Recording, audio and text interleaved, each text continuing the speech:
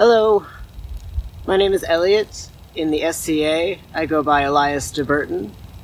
Uh, I portray a mid 14th century forester in Cheshire, England. In the current Middle Ages, I'm a forester in the Kingdom of Atlantia Royal Forestry Guild. and I'm going to talk to you today about some of the gear I use when I go medieval camping.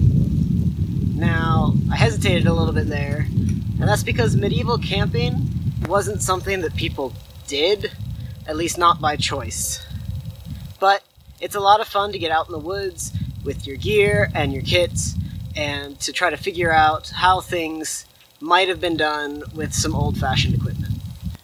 I'm going to be framing my talk today using the five C's of survivability. Now, this was a mnemonic device popularized by Dave Canterbury, and the five C's of survivability are cover, combustion, cordage, cutting tools, and containers. And containers I'm going to divide up into cook pots and canteens. So cover is anything that protects you from the element. Now, a lot of folks don't think about it, but your first layer of cover, your first protection against the elements, is actually the clothing you're wearing. Uh, depending on what sort of reenacting circles you move in, you may hear historic clothing referred to as soft kit or garb. And so in this case, my soft kit is based heavily on the Bocksten man's clothing. So I've got a wool hood, a wool tunic, and wool hosen. Under that, I've got linen, uh, linen undertunic and linen braies. So that's my first layer of protection. So the second layer of protection I've got is this tarp you see here. Now, this is an oilcloth tarp made with a high linen content fabric. I didn't spring for 100% linen because I was afraid I was going to mess it up. Uh, so this is, I think, about 80 20 linen and cotton blended together. So for my 14th century forester, this is probably inaccurate. Uh, oilcloth seems to have become very popular in the 18th century, it most likely existed before that, but I certainly can't date it to the 14th century. And most images of tarps that I see, or references to tarps in uh, documents, they seem to have been used when they were used, and they probably weren't used by foresters. They seem to have been used uh, by more than one person. These single man tarps that are really popular in the bushcraft community nowadays just don't seem to have been used uh, before modern bushcrafting. The next layer of cover I'm going to talk about is my bedroll here. Remove this. This is a cutting tool. We're not there yet. We'll come back to that. So this is my bedroll. This has my blankets, some spare clothing, um, and a couple other items wrapped up in my oilcloth uh, ground cloth. So this is going to protect me from the moisture in the ground. So the blanket I'm using is a Hudson Bay six point blanket. That means it's roughly a queen size. Uh, it's a fairly substantial blanket. I will typically only carry this when it gets cold in milder weather. I will uh, carry a smaller wool, uh, about a twin size uh, Israeli military surplus blanket. So what you can see in the middle here is primarily some spare clothing. So I've got a knit hat for when it gets uh, cold and I sleep. Now, this is not terribly authentic to my period, but it was relatively inexpensive. It's 100% wool, and I like the uh, pattern. Inside, these are definitely not appropriate for the 14th century. This is a pair of wool fingerless knit gloves. I like to have these around because they leave my fingers free and that lets me do what I need to do, and it still keeps everything warm. I can even layer these under these leather and wool mittens. There's just enough room that I can actually pull them on with my fingerless mittens still on.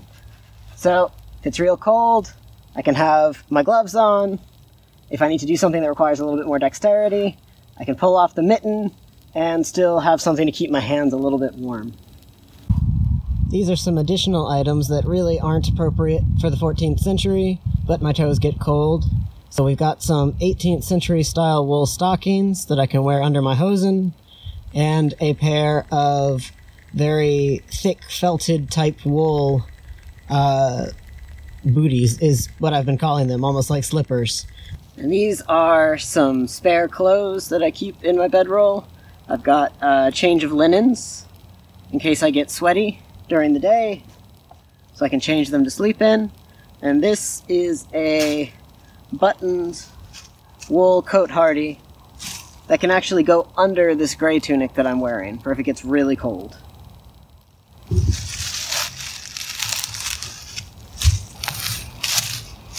So the next C I want to talk about is cutting tool. I carry a small belt knife, a larger knife uh, of an earlier sort of Norse style, and a belt axe. And this is a, a more 18th century style belt axe. So neither the large camp knife nor the belt axe are appropriate for my 14th century uh, interpretation. Um, but one was a gift, and this one, it was inexpensive enough that I could give it a try and see if I liked the weight and the size without committing a whole lot of money.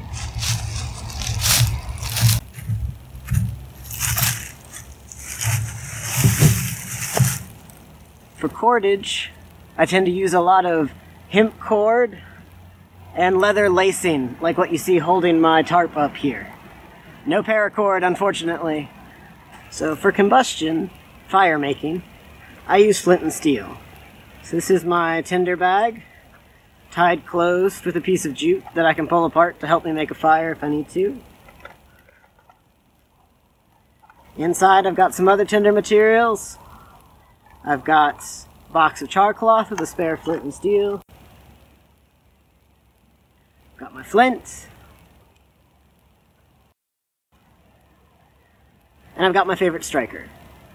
Now, char cloth, certainly not modern char cloth, was probably not used in the 14th century, but it's super handy and easy to carry and reliable when starting a fire with flint and steel. So our last C is containers. Like I said, I'm dividing that up into cook pots and canteens. So I've got two cook pots here. My more authentic cook pot is this ceramic pipkin.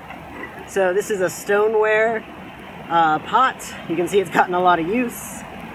And so this holds uh, about five cups. So this is great for a group trek, especially if you can have someone carry a tarp someone carry an axe, someone carry a cook pot like this, you can divide up your gear and share. Uh, like I said, it's authentic. It's also quite heavy. Another cookpot I have that isn't authentic really to any time period is this uh, copper corn boiler or bean boiler is what they get called. This one's from Backwoods Tin and Copper. And this holds about two cups. It's great for solo treks. It's light. Um, but it really isn't authentic to any period. These used to be used by 18th century style trekkers, but they really aren't even authentic to the 18th century, so they've fallen out of favor lately. And for canteens, this is my Costrel. This is a leather canteen. It's called Jackware. Um, and it's made out of three pieces of leather and sealed with resin and beeswax.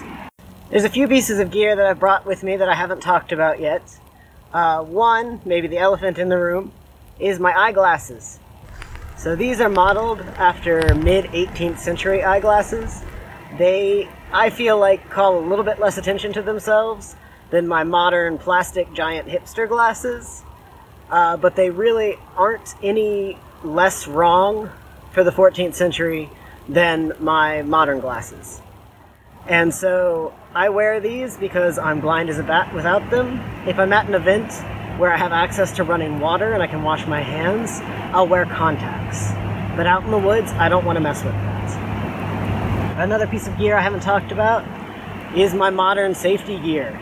This is my first aid kit. This has got some modern fire starting supplies, space blanket, things like that.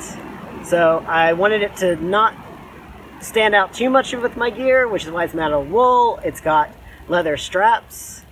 But I want it to be easy to find, that's why it's red, and I want it to be get easy to get into. So it has these uh, button studs that you can just uh, unhook quite easily to get into the bag if you need to. Hopefully you don't need to. I also carry some eating utensils, sometimes get called feast gear. Got a wooden bowl, wooden spoon, has a notch carved into it so I can use it as a pot lid lifter. And then a small ceramic mug. I like this mug because the form is not terribly off for the 14th century, and it also holds exactly a cup, so I can use it to measure out food and water when I'm cooking. So here I've got just a few more items that I want to mention. So right here, this is a small 18th century candle box style lantern. So you can see its tin plate opens up like this, place for a candle, it can swing, you can set it up like that. There's some room for some additional tinder or candles. And this is nice to have when you want a little more consistent light than a campfire. It's great for when you need to make gear repairs around camp after the sun's gone down. Uh, speaking of repairs, this is my repair kit here. Got an awl, some thread, some things for uh, patching, things like that. And then here, this isn't necessary by any means, but this is a portable nine man's Morris or Merrill set, and that's a lot of fun to have around camp. So I want to thank you for spending some time with me today and looking through my gear. If you have any questions, feel free to drop them in the comments. Any suggestions, tips, anything like that, I'd be happy to take a look at them. Go ahead and drop those in too. Now the best way to learn is to go out there and get in the woods. Be safe, but don't wait until you have the perfect kit. The best way to figure out what will work best for you is to go out and try it. So thank you again. Y'all have a good day.